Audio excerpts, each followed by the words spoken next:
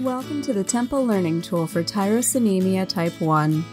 Temple Tools Enabling Metabolic Parents Learning was developed in partnership with the British Inherited Metabolic Disease Group and Nutricia Metabolics. Your baby may have been diagnosed with hereditary tyrosinemia type 1, or HT1. We are here to help you understand the diagnosis and what you can do to make sure your baby grows and develops just like any other bundle of joy. What is HT1? HT1 is an inherited metabolic condition which stands for hereditary tyrosinemia type 1, where the body has trouble breaking down protein, which it needs to help grow and repair itself. Protein is made up of chains of smaller units called amino acids. Tyrosine and phenylalanine are two of those amino acids. Our body changes amino acids into other substances or energy with the help of enzymes. This process is called metabolism.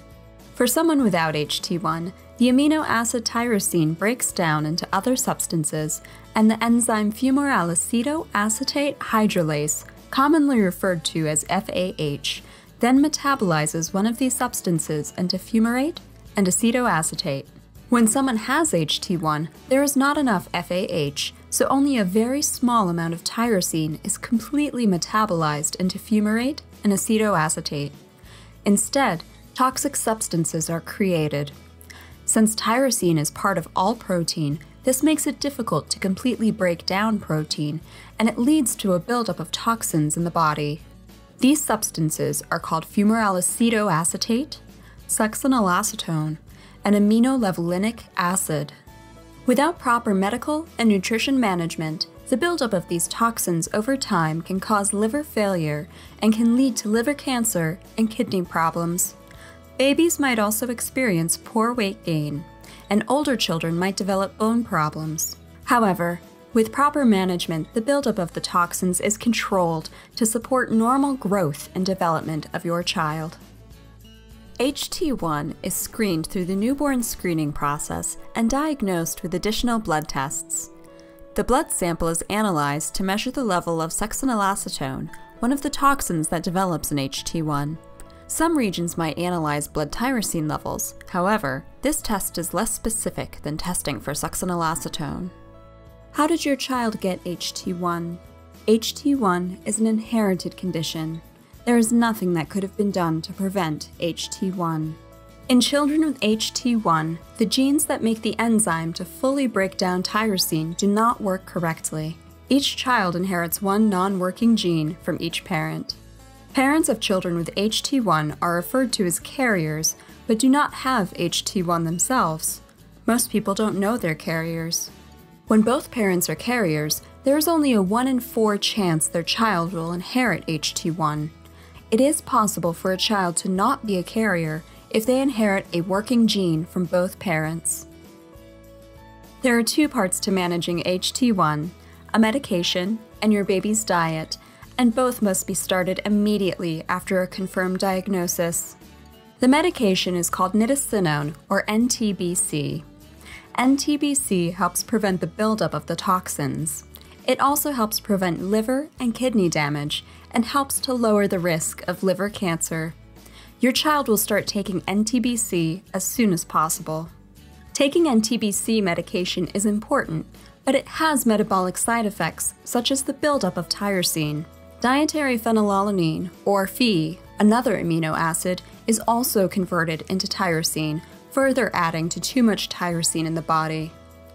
Therefore, the other important part of HT1 management is a special diet which is restricted in whole protein to limit tyrosine and phenylalanine intake. A special metabolic formula is also an important part of the diet. Together, medication and nutrition management help assure your baby grows up just like any other bundle of joy. Even though tyrosine and phenylalanine are unsafe for someone with HT1, they are essential for normal growth and development. A limited and controlled amount must be taken daily. This means that your baby can only have small amounts of breast milk or standard infant formula. As your child gets older and starts eating regular food, foods that are high in protein must be avoided since all protein contains tyrosine and Phe. Your dietitian will tell you how much breast milk, infant formula, and natural food to feed your baby. To help add variety into your child's diet, Nutricia offers special low protein foods, including low protein fruity cereals, animal pasta, and cake mix. You can also find a wide range of low protein recipes at medicalfood.com. Your clinic will work with you to teach you how to track and limit tyrosine and Phe. In addition to a tyrosine and Phe restricted diet, a special metabolic formula is essential. This special formula does not contain tyrosine and Phe but provides otherwise all the necessary vitamins, minerals, protein, and energy your baby needs to grow. Your dietitian will determine how much metabolic formula to give your baby. TYR Anamix Early Years is the first HT1 infant formula to contain DHA, ARA, and prebiotics. DHA helps your baby's brain and eye development, while the prebiotic supports immune and digestive health. For every child, regular checkups are essential. They are especially important for a child with HT1. During your clinic visit, your baby's height and weight will be measured. Blood tests will be taken to check amino acid and nutrient levels.